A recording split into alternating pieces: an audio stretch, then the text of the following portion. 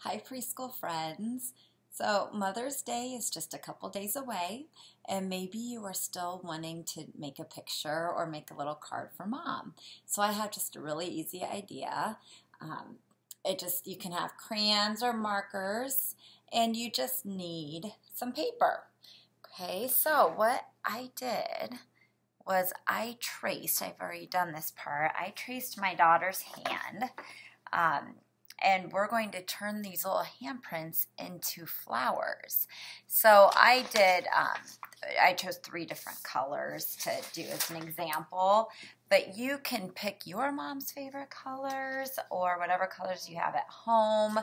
Um, you could make the three flowers, make like a little flower garden, or maybe you want to just do like two flowers or you could even make just one. You could just do one if you wanted. Um, another choice you could do, um, like I, I traced and cut, but you could also just trace your hand right on the paper and then color it in really beautiful. Um, or if you have paint and somebody can help you at home, you could paint your hand and then do the handprint right on the paper. Okay, so uh, I would glue this on and then I'm going to make a stem. So I'm just going to draw my little line here and I'm going to make um, some leaves. Make some leaves on it, but you could, you know, make some grass. You could add a butterfly. You could do um, a sky.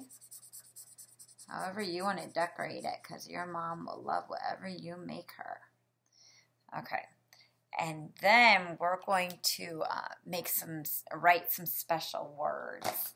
And those words that we're going to write are um, I love you, mom. Okay, so I'm going to start with the letter I or I. Love, there's our L O V E. So we have I love. And then the word you, we do the letters Y, O, U. Make a little comma. And then we're going to write mom. We're going to go M, O, M, mom. And maybe a little exclamation mark because it's exciting. I love you, Mom. And then you have just a special little flower with your hand um, that will be very special for your mom. So uh, that's just, just a little idea to do. So I'm um, wishing all the moms out there a happy Mother's Day. All right. Thanks. Bye.